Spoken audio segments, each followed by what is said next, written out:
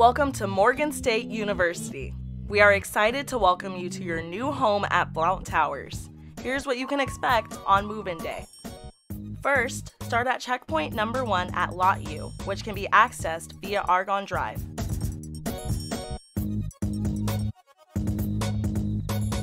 Here, you will need to show your move in notification email, which includes your designated check in day and time.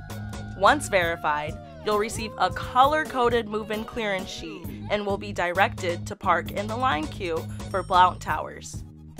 Groups of 10 cars will be moved from Lot U at a time.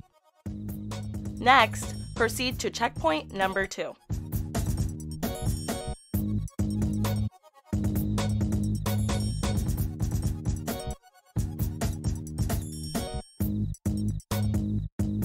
Show your color coded move in clearance sheet to the Morgan State University team member.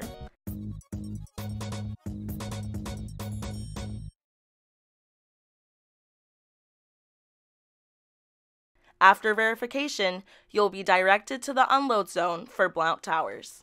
Upon arrival, the move in crew will unload your vehicle. Please note the driver must remain in the car during this process. Once unloading is complete, the driver will be directed from the unload zone to the parking garage located on Stadium Way. Shuttles will be waiting to transport them back to Blount Towers. If you have any questions, then please email reslife at morgan.edu. Thank you for your cooperation, Morganites. Have a great semester.